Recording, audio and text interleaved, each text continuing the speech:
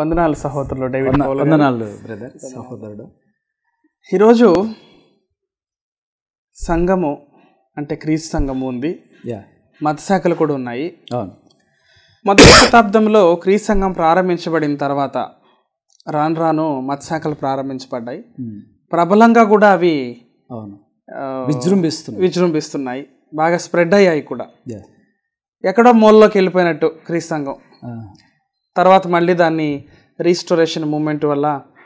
మళ్ళీ వెలుగులోకి తీసుకురావటం కాకపోతే క్రీస్తు సంఘం ఉమ్. యొక్క సిద్ధాంతము క్రీస్తు సంఘం ఏ దేశానికి వెళ్ళినా కూడా సిద్ధాంతం ఒకే రకంగా ఉంటుంది అవును కాకపోతే క్రీస్తు సం- సంఘంలో ఉండేటువంటి సిద్ధాంతము. ఏ వేరే ఒక మత శాఖలో కూడా ఈ సిద్ధాంతాన్ని మనం చూడము ఒకటి. ఇంకొకటి మత శాఖల్లో ఎన్ని వేల కొద్ది ఉన్నాయో. అన్ని వేల సిద్ధాంతాలు వాళ్ళు చెప్తున్నారు. సో నేను మిమ్మల్ని ఏం అడగదలుచుకుంటున్నానంటే క్రీస్తు సంఘం సిద్ధాంతానికి మత శాఖల వారి సిద్ధాంతానికి ఉండేటువంటి వ్యత్యాసం ఏంటి తేడాలు ఏంటి అని నేను ఈరోజు మీకు ఇది అడగదలుచు చాలా so you have ask me very good question okay. So క్రీస్తు సంఘం యొక్క సిద్ధాంతానికి మత శాఖల యొక్క సిద్ధాంతానికి ఉన్న తేడా ఏంటంటే క్రీస్తు సంఘము రోమా పదారు పదారు క్రీస్తు సంఘములన్నీ మీకు వందనములు చెప్పుచున్నవి. మత శాఖల వాళ్ళు ప్రైజ్ ది లార్డ్ అంటారు మరణాత్ అంటారు షాలోమ్ అంటారు. షాలోమ్ అంటారు హల్లెలూయ అంటారు. కానీ క్రీస్తు సంఘము బైబుల్ ఏమైతే మాట్లాడుతుందో అది మాట్లాడదాము అని క్రీస్తు సంఘం అంటారు కానీ వాళ్ళు ఏం ఏమంటారు అంటే బైబిల్లో ఉన్న ఒక్క పదాన్ని పట్టుకొని అదే కరెక్ట్ వాళ్ళకి ఇష్టం వచ్చిన రీతి కదా అని వాళ్ళు బైబిల్ మొత్తం చదవరు. రోమా పత్రికలు వందనాలు కొరిందులకు రాసిన పత్రికలు వందనాలు తిమోతికి రాసిన పత్రికలు వందనాలు ఎలిజబెత్కు మార్త చెప్పిన వందనాలు పాత నిబంధనలో ఇలా వందనాలు ఇవన్నీ బేసిక్ బైబిల్ ఇది. వాళ్ళు వందనాలు చెప్పుకోరు చెప్పుకోవడం రెండోది వాళ్ళు పండగలు చేస్తారు. గుడారాల పండగ పెంతుకోస్తు పండగ వారాల పండగ కోతకాల పండగ పూరీము పండగ ఈస్టర్ పండగ తర్వాత ఈస్టర్ పండగ క్రిస్మస్ పండగ ఇంకా వాళ్ళు కొత్తగా పెట్టుకున్న కొన్ని పండగలు ఉన్నాయి. యేసుక్రీస్తు పండగ అని తర్వాత ఇంకా ఏంటి సోమవారం పండగని శనివారం పండగని ఇవన్నీ చాలా ఉన్నాయి. అయితే క్రీస్తు సంఘము యొక్క సిద్ధాంతం ఏంటంటే అమావాస్యను విశ్రాంతి దినమును పండుగలను మీరు ఆచరించకూడదు. కూడదు. అవన్నీ కూడా ఇజ్రాయేల్కి ఇవ్వబడినాయి. మనకు కాదు పండుగ అది నీడ ఇది నిజ స్వరూపము అది శరీర సంబంధమైనది ఇది ఆత్మ సంబంధమైనది. అక్కడ బలులు ఉన్నాయి ఇక్కడ క్రీస్తు బలి అయిండు అక్కడ భౌతిక సంబంధమైన రాజ్య పరిపాలన ఇక్కడ రాజ్య పరిపాలన. అక్కడ ప్రత్యక్ష గుడారము ఇక్కడ క్రీస్తు సంఘము అక్కడ గొర్రెపిల్లను బలి అర్పించాలి ఆ గొర్రెపిల్లే క్రీస్తు అక్కడ ప్రధాన యాజకుడు. ఇక్కడ క్రీస్తు యాజకుడు మనమంతా యాజకులము రాజులైన యాజక సమూహము గొప్ప వంశము వరము. సో ఆ నిబంధనకి ఈ నిబంధనకు తేడా ఉంది కాబట్టి ఆ నిబంధనను దేవుడు భంగము చేసి ఉన్నారన్నాడు. ఉమ్. మీరు పాత నిబంధనని. మీరు భంగము చేసి ఉన్నారు అందుకే నేను ఇంకొక నిబంధన. నిబంధన క్రొత్తగా. యూద ఇంటి వారితో ఇజ్రాయల్తో ఇంటి వారితో నేను ఒక క్రొత్త నిబంధనలు చే దినములు వచ్చుతున్నవి. నేను మీరు మీకు పెనిమిటి ఉంటుంది కానీ మీరు ఆ నిబంధన భంగం చేసి ఉన్నారు. అయితే ఇది అటువంటి నిబంధన కాదు. నేను వారి హృదయంలో హృదయముల మీద నా ధర్మ విధులను రాసేదని అంటాడు అది ఇర్మియా గ్రంథం ముప్పై ఒకటి ముప్పై ఒకటిలో ఉంటుంది. ఎబ్రిలోకి రాసినటువంటి పత్రికలో కూడా ఉంటుంది. అందుకని క్రీస్తు సంఘం యొక్క సిద్ధాంతం ఏమంటుందంటే పాద పా ఆచారాలు పాటించవద్దు అని చెబుతుంది. తర్వాత ఈ మత శాఖలు ఏమంటారంటే విశ్రాంతి దినాన్ని పాటించాలంటే క్రొత్త నిబంధన క్రీస్తు సంఘం యొక్క సిద్ధాంతం ఏంటంటే విశ్రాంతి దినం పాటించాల్సిన అవసరము లేదు అంటది. ఈ యొక్క మత శాఖలు వాళ్ళు ఏమంటారంటే దశం భాగం ఏమంటారు. క్రొత్త నిబంధనలు దశం భాగం లేదు. వర్దిలిన కొలది ఇవ్వండి సనగక గొనగకి ఇవ్వండి. ఎందుకంటే మొదటి శతాబ్దంలో వాళ్ళు దశం భాగాలు ఇవ్వలే. కొంతమంది స్థిరాస్తులు అమ్మి అపోస్తుల పాదాల దగ్గర పెట్టినట్టు చూస్తాం. బర్ణబాస్ అనబడిన వ్యక్తి అపోస్తులుగా ఆయన ఒక మంచి పేరు ఎందుకు గుర్తింపు పొందాడంటే హెచ్చరిక పుత్రుడని తన స్థిరాస్తి అమ్మి తీసుకొని వచ్చి అపోస్తుల పాదాల దగ్గర పెట్టాడు. పెట్టాడు. సో క్రొత్త నిబంధన యొక్క సిద్ధాంతము క్రీస్తు క్రొత్త నిబంధన యొక్క సిద్ధాంతమే క్రీస్తు సంఘం యొక్క సిద్ధాంతం. సిద్ధాంతం. క్రొత్త నిబంధన సిద్ధాంతానికి వ్యతిరేకంగా క్రీస్తు సంఘం యొక్క సిద్ధాంతం లేదు. లేదు. క్రొత్త నిబంధన ఏమైతే చెబుతుందో క్రీస్తు సంఘము అదే చెబుతుంది. సో అందుకని ఈ యొక్క దశమ భాగం లేదు ఒరిజినల్ ఇవ్వండి. ఇవ్వండి. క్రీస్తు సంఘం యొక్క సిద్ధాంతం ఏంటంటే ప్రభురాత్రి భోజనము ప్రతి ఆదివారము తీసుకోవాలి. ఆయన మరణమును పునరుత్నమును జ్ఞాపకం మీరు జ్ఞాపకం చేసుకోమంటే నెలకొకసారి సంవత్సరానికి ఒకసారి? ఆరు నెలలకు ఒకసారి. ఆరు నెలలకు ఒకసారి? సో క్రీస్తు సంఘం యొక్క సిద్ధాంతమే క్రొత్త నిబంధన ఏమైతే చెబుతుందో క్రొత్త నిబంధన ఎలా జీవించమని చెబుతుందో ఆ సిద్ధాంతాన్ని నేర్పించేదే క్రీస్తు సంఘం. ఈ మత శాఖలు ఏంటంటే క్రీస్తు సంఘంలో కలవలేవు. ఎందుకంటే అసలు వారు ఈ క్రీస్తు సంఘంలో ఉన్నటువంటి వారికి మాత్రమే రక్షణ. వారికి క్రీస్తుకు సంబంధం లేదు. బా ఇప్పుడు భార్యాభర్తలు ఎప్పుడైతారు? వివాహం అయితేనే వారు భార్యాభర్తలు. భర్తలు అవుతారు. వివాహము కాకుండా వాళ్ళిద్దరు కలిసి జీవిస్తే దాన్ని ఏమంటారు? అక్రమ సంబంధము వ్యభిచారము అంటారు. అలాగే వివాహం అనబడినది ఒక వ్యక్తి రక్షింపబడిన తర్వాత అతనికి క్రీస్తుతో సంబంధము ఆ శరీరంలో ఉన్నవాడికి. ఈ మత శాఖల వాళ్ళకి క్రీస్తుకు సంబంధం. సంబంధం లేదు. అసలు బైబిల్ ప్రకారం ఏంటంటే ఇంకా ఈ మత శాఖల వారు క్రైస్తవులుగా కాలేరు. క్రైస్తవులు కాలేరు. క్రైస్తవులుగా పిలువబడలేరు వాళ్ళు.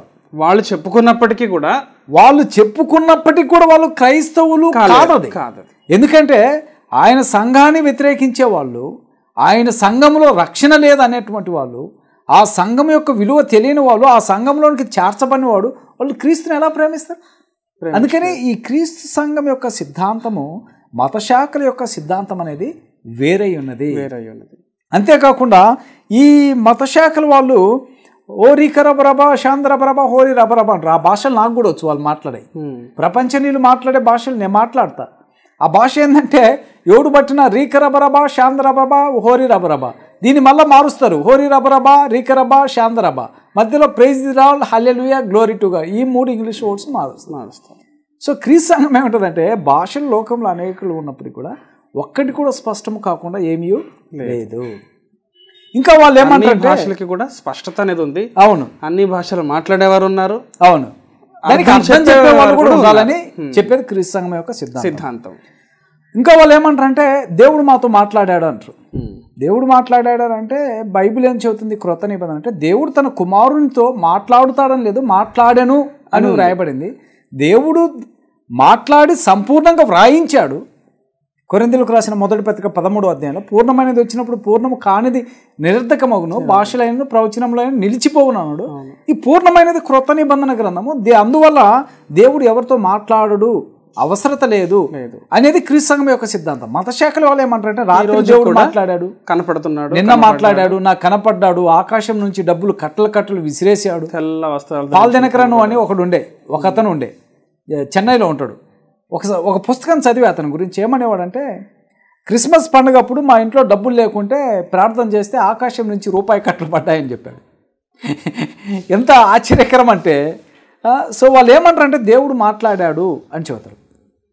రెండోది క్రీస్తు సంఘం యొక్క సిద్ధాంతము క్యాథలిక్ కూడా విరోధం. అవును. క్యాథలిక్కు ఏమంటది అంటే క్రీస్తు సంఘము యేసు బాలయేసు కాదు మరియకు ఆరాధన చేయకూడదు మరణ మా మరియా దేవత కాదు. మరియను వీళ్ళు అపోస్తులు వెళ్ళి ప్రకటించలేదు. మరియా ఒక స్త్రీ ఆయన గర్భంలో క్రీస్తు ప్రభువారు జన్మించాడు అంతే. ఆమె కన్యక స్త్రీ. ఆ, పవిత్రమైన స్త్రీ ఆమె వర్జిన్ అని రాయబడింది. అంతేగాని ఆమె దేవతని దైవమని ఆమె ఆరాధన చేయమని క్రొత్త నిబంధనలో ఎక్కడ చెప్పలేదు. ఆరాధించినట్టు కూడా ఎక్కడ ఎక్కడ లేదు. ఇది క్రీస్తు సంఘం చెప్పేటువంటి సిద్ధాంతము. అయితే వాళ్ళు దాన్ని వ్యతిరేకిస్తారు వ్యతిరేకిస్తారు రెండోది క్రీస్తు సంఘము ఎప్పుడు కూడా విగ్రహారాధన ప్రోత్సహించదు.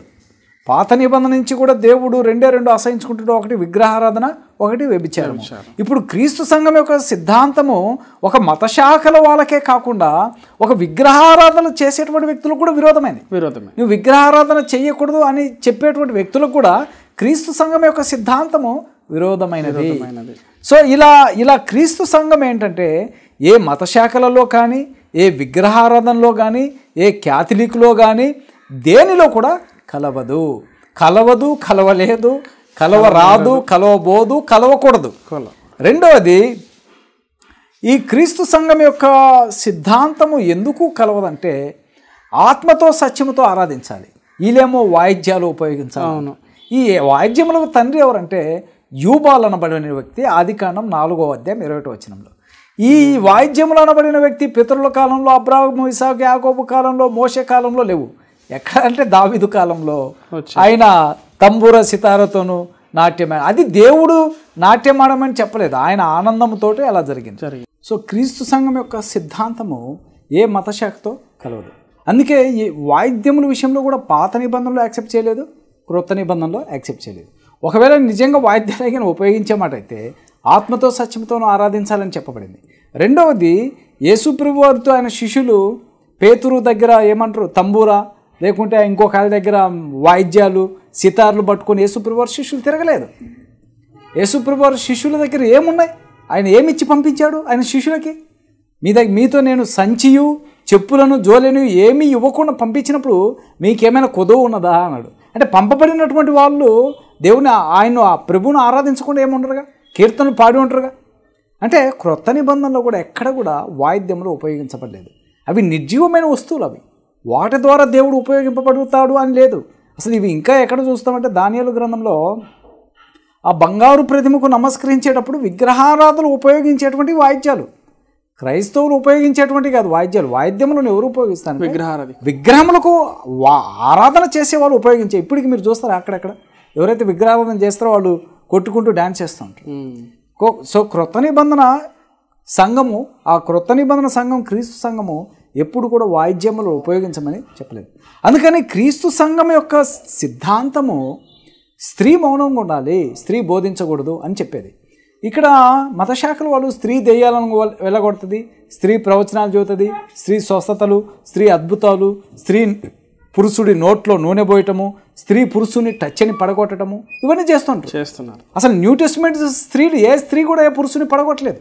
మగ్ధలేని మరియ కొట్టలేదు యేసుప్రభువారి తల్లి అయిన మరియ పడగొట్టలేదు. బైబిల్లో ఏ స్త్రీ కూడా పురుషుని పడగొట్టలేదు. మళ్ళీ ఈ క్రీస్తు సంఘం యొక్క సిద్ధాంతం ఏమంటదంటే స్త్రీ మౌనంగా ఉండాలి. సో అందుకని క్రీస్తు సంఘం యొక్క సిద్ధాంతము దేనిలో కలవదు? కారణం ఏంటంటే ఈ క్రీస్తు సంఘము క్రీస్తు చేత కట్టబడింది. దానికి శిరస్సు క్రీస్తు రక్షకుడు క్రీస్తు ఆయన సంఘాన్ని కట్టాడు సంఘాన్ని ప్రేమించాడు. ఆ సంఘము నిష్కలంకలమైనది పరిశుద్ధమైనది పవిత్రమైనదిగా ఉండటానికి ఆయన దాని కొరకు ప్రాణం పెట్టాడు. మళ్ళీ తిరిగి రానై ఉన్నాడు దాన్ని తీసుకువెళ్ళటనే కానీ క్రీస్తు సంఘం యొక్క సిద్ధాంతము ఏ శాఖకు ఏ రిలీజియన్కు ఏ మతానికి అది సరిపడదు. రెండోది వాటల్లో వాటితో కలిసేటువంటిది కాదు ఇది. అలా బైబిల్ ఎక్కడ కూడా లేదు. అందుకే క్రొత్త నిబంధన సిద్ధాంతం ఏమైతే ఉన్నదో క్రొత్త నిబంధన సంఘమే క్రీస్తు సంఘం. సంఘం. క్రొత్త నిబంధనకు వ్యతిరేకంగా క్రీస్తు సంఘం లేదు. లేదు. క్రొత్త నిబంధన ఏమైతే చెబుతుందో క్రీస్తు సంఘం అదే చెబుతుంది.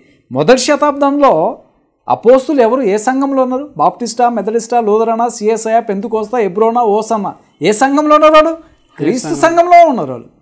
పౌల్ గారు ఏ సంఘానికి పరిచర్య చేశాడు? బాప్టిస్ట్ వాళ్ళకి చేశాడా? మెథడిస్టా లూదరనా క్రీస్తు సంఘానికి పరిచర్య చేశాడు. వాళ్ళు ఆ క్రొత్త నిబంధన మొత్తం కూడా ఎవరికి రాయబడింది? క్యాథలిక్ వాళ్ళక? క్రీస్తు సంఘాలకు రాయబడింది.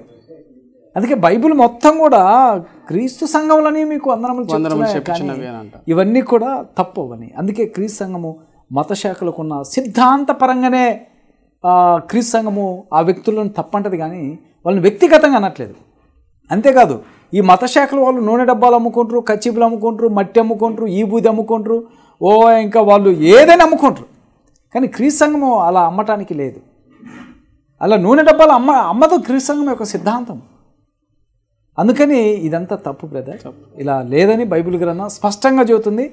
క్రీస్తు సంఘము ప్రపంచంలో ఎక్కడున్నా అమెరికాలో ఉన్న ఆస్ట్రేలియాలో ఉన్న యూకేలో ఉన్న క్రీస్తు సంఘం యొక్క సిద్ధాంతం అంతా కూడా ఒకటే. అదే బైబిల్లో ఉన్న సంఘము అదే క్రొత్త నిబంధన సంఘము. ఆ సంఘము కాదని ఈ మత శాఖలు అనేది క్రైస్తవులు కాదు. వాళ్ళు క్రైస్తవులు కాదు అందుకే వారికి డినామినేషన్ మత శాఖలు అని పిలువబడు. వందనాలు brother. Thank you brother thank